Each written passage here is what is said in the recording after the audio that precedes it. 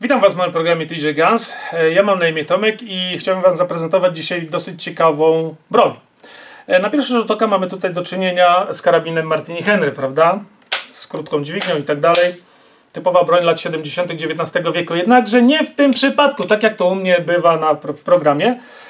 Mamy coś e, niezwykle ciekawego. Dzięki oczywiście Wiktorowi, jego nieprzebranym zasobom z jego niesamowitej kolekcji przedziwnej i cudownie ciekawej broni. Co my tutaj mamy? Tutaj mamy nepalską odmianę karabinu, karabinu Martini Henry. Zaraz Wam pokażę wszystkie te znaczki, opisy i tak dalej. Ale co w tej broni jest bardzo ciekawego? Nepalczycy oczywiście jako królestwo, które było może niezależne, ale było może też nie wasalne, ale no było takim protektoratem troszeczkę, e, ciężko to powiedzieć, pod okiem Anglików. Jak to te właściwie takie terytoria, gdzie, czy, czy kolonie, czy właśnie protektoraty, czy, czy, czy Unie i tak dalej, Anglicy nie wysyłali nowoczes, super nowoczesnej broni, jakiej używali w tamtym okresie, czy na przykład Martini Henry, to wysyłali powiedzmy Snydery lub jakieś inne kapiszonowe rzeczy, e, karabiny. E, Także było i w tym przypadku. Jednakże Nepalczycy, no naród e, oczywiście em, ambitny, e, który chciał mieć własną broń, własną produkcję swojej broni, zaczął robić kopie właściwie mm, karabinów Martini Henry, Henry na własną rękę. Oczywiście bez licencji, bez niczego, prawda? E, Nie mając jednak żadnych e, maszyn, znaczy mieli tam jakieś maszyny, jakieś parowe, jakieś inne rzeczy, ale nie mając dostępu do nowoczesnej, dostępu do nowoczesnej technologii, do nowoczesnych materiałów, do nowoczesnych blueprintów, maszyn, inżynierów, techników, całego tego zaplecza, całej tej logistyki, jak się teraz bardzo modnie mówi na y, całą tą infrastrukturę, y, próbowali połączyć powiedzmy XVII-wieczne y, technologie z dosyć nowoczesnym oczywiście, XIX-wiecznym mm, mechanizmem tutaj wykorzystanym w karabinie Martini Henry. Co w tym jest ciekawego? O czym ja tu właściwie mówię, prawda? Gada, nie? No co o czym mówię? E, Mówię tutaj o szwejsowaniu. Czy wiecie, co to znaczy szwejsowanie? Z... Brzmi wam jakoś tak te słowo średnio, prawda? Nawet dla mnie jest to słowo bardzo takie archaiczne, jakieś takie, no kurczę, no nie nie wiem właściwie gdzie to wsadzić. A szwejsowanie jest po prostu, jak sobie nawet wygooglacie, to jest po prostu spawanie lub e, mm, spajanie metali na gorąco poprzez kucie. Okay? I w tym przypadku tutaj mamy dokładnie taką metodę zastosowaną w produkcji luf.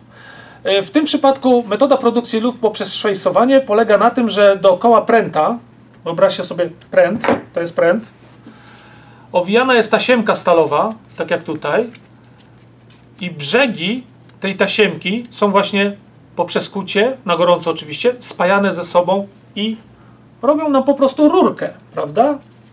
Która przekształca się ewentualnie w lufę. Są dwie metody. Tańsza, szybsza i o wiele bardziej niebezpieczna podczas użytkowania, kiedy to spajanie jest po prostu wykonane poprzez stykanie brzegów, prawda? Ta druga metoda, no, robiona na zakładkę, że po prostu się naddaje troszeczkę materiału na poprzedzającą tasiemkę, poprzedni zwój, jest oczywiście o wiele lepsza. I to było bardzo dobrze pokazane na przykład, jak czytałem mm, mm, książkę e, na temat wprowadzania uzbrojenia w Rosji w XVII, XVIII, XIX wieku i tam miano problemy właśnie z karabinami od różnych producentów, zagranicznych kontraktorów, między innymi w Anglii czy w Belgii, którzy po prostu byli nieuczciwi i robili lufy właśnie w ten pierwszy sposób, ten bardziej niebezpieczny, czyli na styk, poprzez to szwejcowanie, tak? I te lufy miały tendencję do wybuchania prosto w twarz. Zresztą już nie pamiętam, któremu królowi czy kandydatowi na króla właśnie coś takiego się wydarzyło, że mu karabin po prostu wybuchł w twarz. W sensie carowi czy kandydata na cara e, w czasach Katarzyny Wielkiej czy przed jej panowaniem. Także to była taka metoda. I właśnie w tym karabinie, czyli nowoczesne tutaj mechanizmy z Martini Henry, są połączone właśnie z tą szwejsowaną lufą. Chodźcie szybciutko zobaczymy, jak to wygląda i jak ten karabin w ogóle e, tutaj jest opisany, ok? Tradycyjny karabin typu Martini Henry, jak widzicie, wycior, no nic tutaj ciekawego nie ma.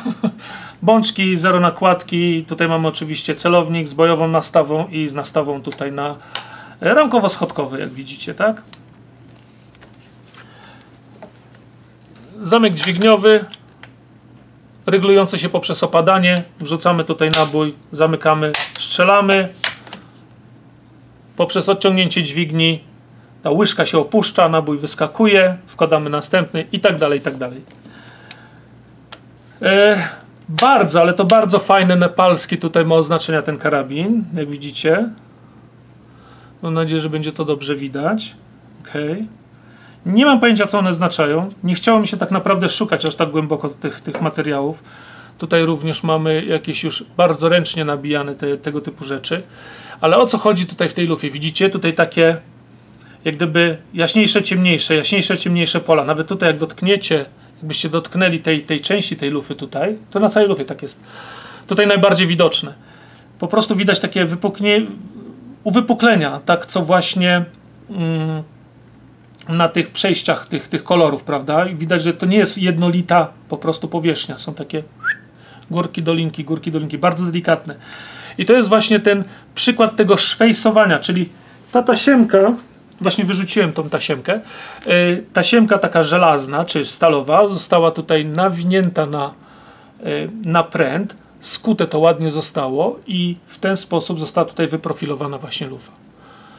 Proszę zobaczcie, jak to jak to ciekawie wygląda, prawda? Ja myślę, że to jest naprawdę dosyć fascynujące, jak to naprawdę można było połączyć w akcie desperacji e, technologię, nie wiem, XVII-wieczną e, z XIX-wieczną. 200 lat różnicy, prawda? Tego, tego, typu, tego typu rzeczy już się nie używano, e, nie używano już właśnie w XIX wieku.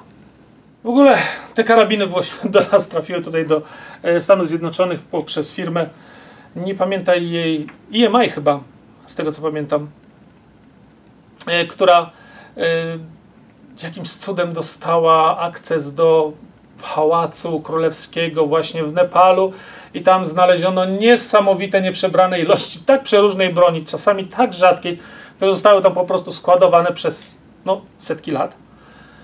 E, aż do właściwie niedawna, do 2000 któregoś tam, nie wiem, 10 powiedzmy roku, gdzie zostało to wszystko